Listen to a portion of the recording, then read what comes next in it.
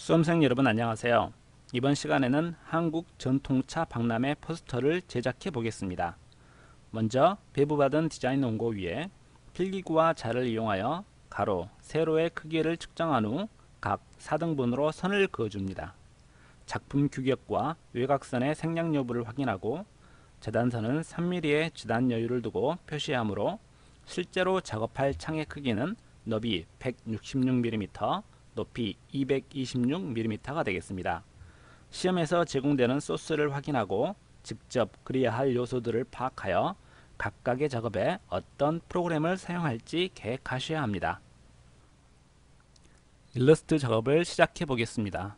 일러스트레이터를 실행하고 파일, New 메뉴를 선택하여 New Document 대화 상자가 열리면 이름에 임의의 이름을 입력하고 Width를 166mm Height를 226mm 컬러 모드를 CMYK로 설정하고 OK 버튼을 클릭하여 새 Document 창을 만듭니다.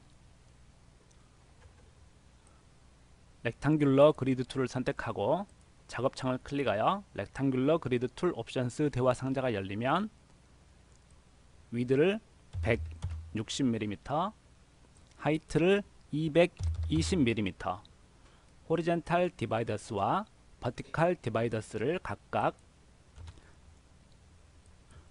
3으로 입력하여 OK 버튼을 클릭하면 16등분 된 격자 도형이 다음과 같이 만들어지게 됩니다. Window Align을 클릭하여 Align 패널에서 Align To를 Align To Artboard로 설정하고 차례대로 Vertical Align Center, Horizontal Align Center를 각각 클릭하여 다음과 같이 중앙으로 정렬합니다. 컨트롤 2를 눌러 만들어진 격자 도형을 잠그고 Line Segment Tool을 클릭하여 대각선을 그려보도록 하겠습니다.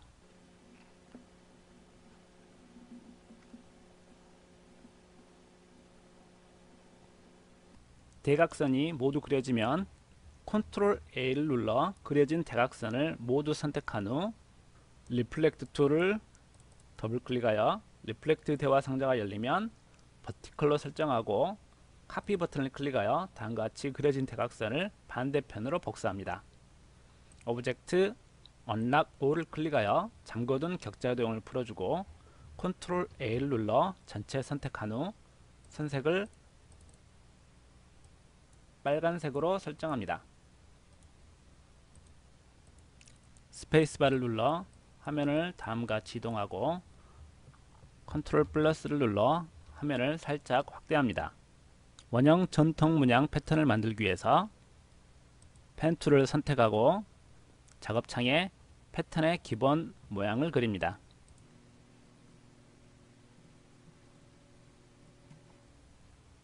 면색은 없음, 선색을 C0, M0, Y0, K0 흰색으로 설정하고 선택 툴을 선택한 후 선 두께를 적당하게 올려줍니다. Direct Selection Tool로 살짝 수정하여 다음과 같은 모양을 만든 후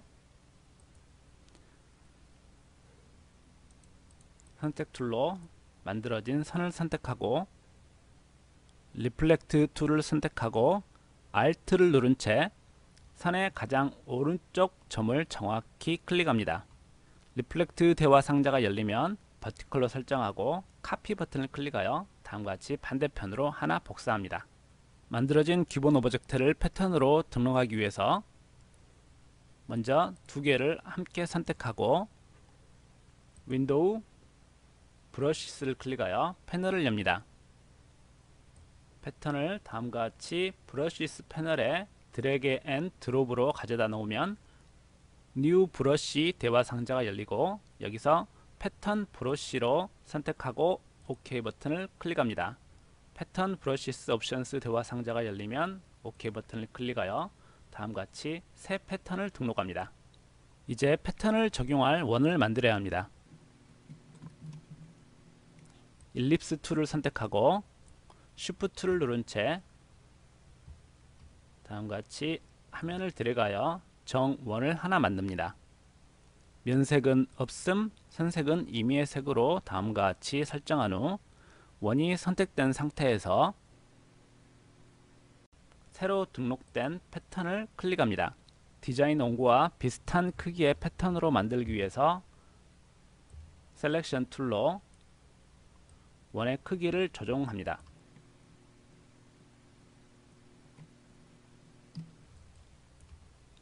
Ellipse Tool을 선택하고 패턴의 안쪽과 바깥쪽에 원을 그려보도록 하겠습니다. 이때 가운데를 Alt Shift를 누른 채 드래그하면 안쪽부터 시작되는 원을 쉽게 그릴 수 있습니다.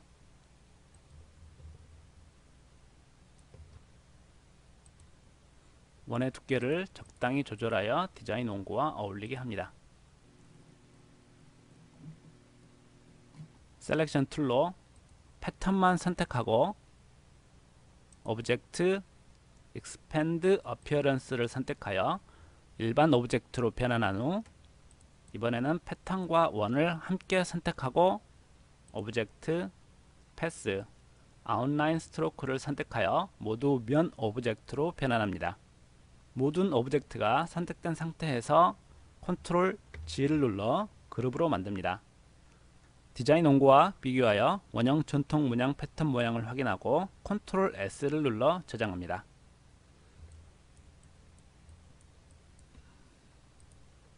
다음으로 심벌 마크를 만들어 보도록 하겠습니다.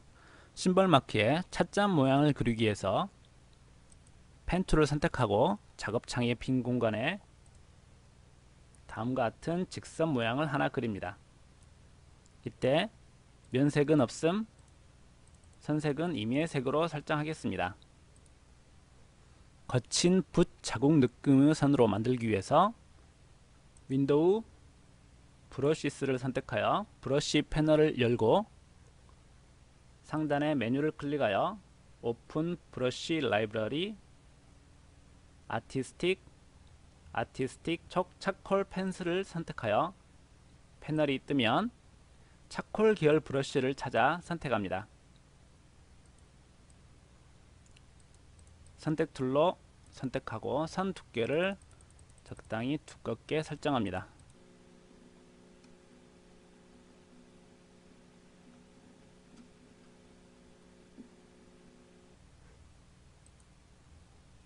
같은 방법으로 Pen Tool로 위쪽에 선을 그린 후 역시 같은 브러쉬를 적용하도록 하겠습니다.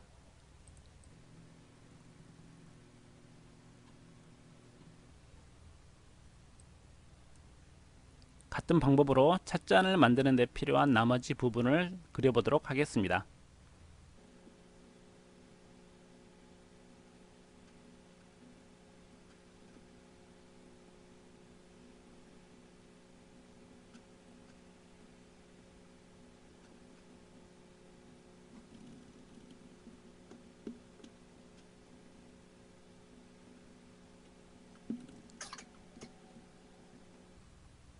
다음으로 찻잔 위쪽에 장식장을 추가해서 그려보도록 하겠습니다. 펜툴로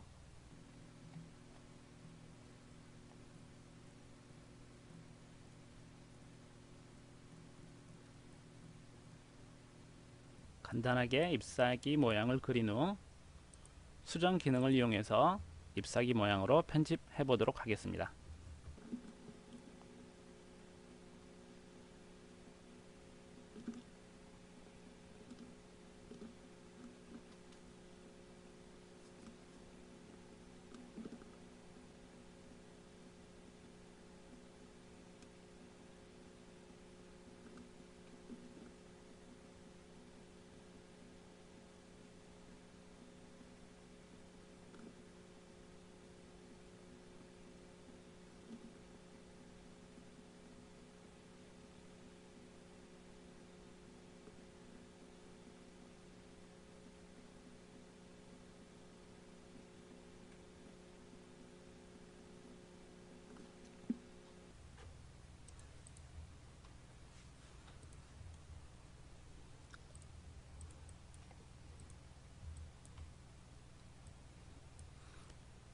잎사귀를 모두 그렸으면 면색을 Gradient Tool을 더블 클릭하여 Linear 각도는 55도. 첫 번째 슬라이더의 색상을 CMYK로 설정하고 C60, M10, Y90, K0 두 번째 슬라이더의 색상은 CMYK, C90, M50, Y100, K10으로 설정합니다. 이때 첫 번째 슬라이더의 Location을 40%로 설정합니다. 선색은 없음으로 설정하도록 하겠습니다. 잎사귀가 선택된 상태에서 Object, Path, Offset Path 메뉴를 선택하여 Offset Path 대화 상자가 열리면 Preview를 선택하고 적당한 크기로 테두리를 만들어 보도록 하겠습니다. Joins는 Round OK 버튼을 클릭합니다. 잎사귀 테두리 면색은 흰색으로 설정하도록 하겠습니다.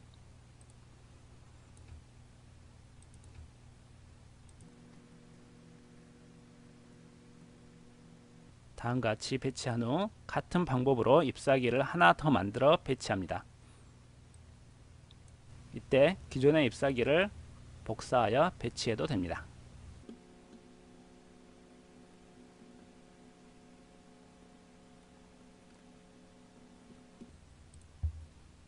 다음으로 심벌 마크의 도장을 만들어 보도록 하겠습니다. 라운디드 렉탱구를 선택하고 다음과 같은 위치에 직사각형을 하나 그립니다. 이때 키보드의 상하 좌우 키를 이용하여 둥근 정도를 조정합니다. 면색을 C0, M100, Y100, K0 선색은 없음으로 설정하도록 합니다. Convert Anchor Point Tool을 선택하고 각 선들을 드래그하여 다음과 같이 자유로운 곡선 모양을 만듭니다.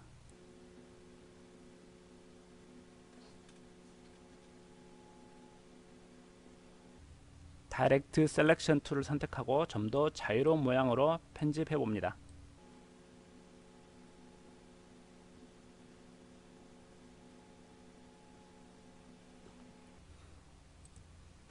다음으로 도장에 글자를 입력해 보도록 합니다.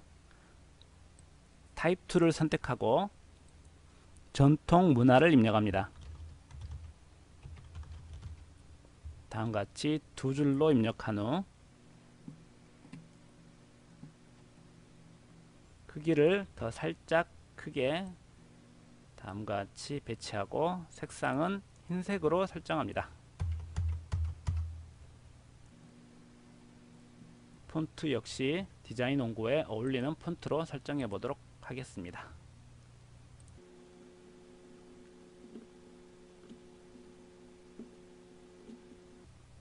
글자가 선택된 상태에서 Type Create Outlines를 선택하여 일반 object로 변환한 후 사각형과 함께 선택하여 Window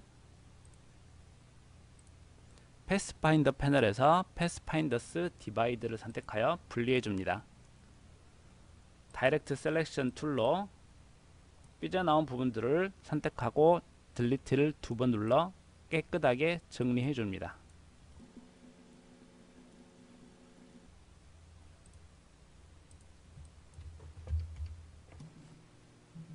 디자인 원고와 비교하여 전체적으로 확인하고 Selection Tool로 함께 선택하여 Control G를 눌러 그룹 object로 만듭니다. 다음으로 전통 문화 연구의 심벌을 만들어 보겠습니다. Ellipse Tool을 선택하고 Shift를 누른 채 작업창을 드래그하여 적당한 크기로 정원을 만든 후 면색은 C0, M0, Y0, K0 흰색 선색은 C40, M10, Y 100, K 30으로 설정하도록 하겠습니다. 선 두께를 적당히 올려 디자인 원고와 비슷하게 설정합니다. 원이 선택된 상태에서 Scale Tool을 더블 클릭하고 스케일 대화 상자가 열리면 Uniform을 70%로 입력하고 카피 버튼을 클릭하여 다음과 같이 축소 복사합니다. Ellipse Tool로 Shift를 누른 채 다음과 같이 원을 드래그하여 정원을 하나 그린 후 선택하여 Window Align 패널에서 Align To Align To Selection으로 설정한 후 중앙으로 정렬해 줍니다. Convert Anchor Point Tool을 선택하고 새로 그린 원의 가장 아래 점만 클릭하여 다음과 같이 뾰족한 점으로 만든 후 Direct Selection Tool을 선택하고 방금 클릭한 점을 클릭하여 선택합니다. 키보드의 아래 방향키를 여러 번 눌러 다음과 같이 아래쪽으로 뾰족한 선으로 바꿔줍니다. Selection Tool로 작업창을 한번 클릭하여 모든 선택을 해제합니다. 다시 뾰족한 원을 선택하고 Object, Path, Offset Path를 선택하여 Offset Path 대화 상자가 열리면 적당한 수치를 설정하고 OK 버튼을 클릭합니다. 다음같이 안쪽으로 축소 복사됨을 확인합니다.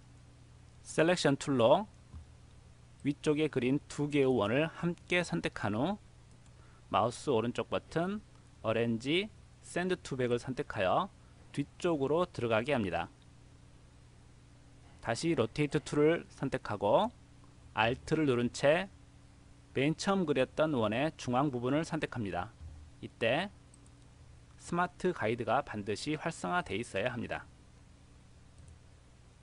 Rotate 대화 상자가 열리면 60도로 입력하고 카피 버튼을 클릭하여 다음과 같이 회전 복사합니다. Control D를 4번 눌러 다음과 같이 사방으로 복사합니다.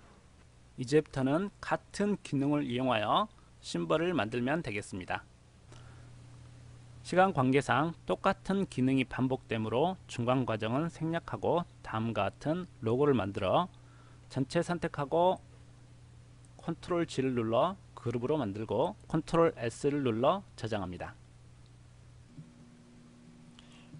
다음으로 나뭇잎 문양을 만들어 보도록 하겠습니다. 펜 툴을 선택하고 작업창에 나뭇잎 모양을 먼저 그립니다.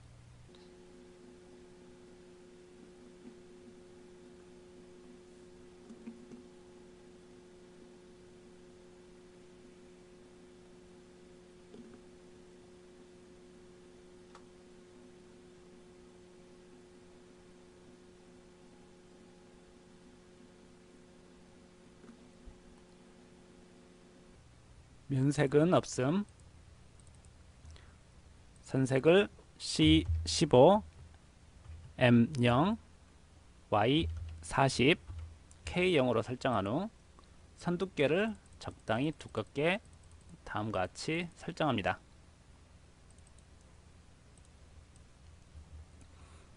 이어서 펜툴로 줄기 모양을 그려봅니다. 이번에는 면색과 선색을 바꿔줍니다.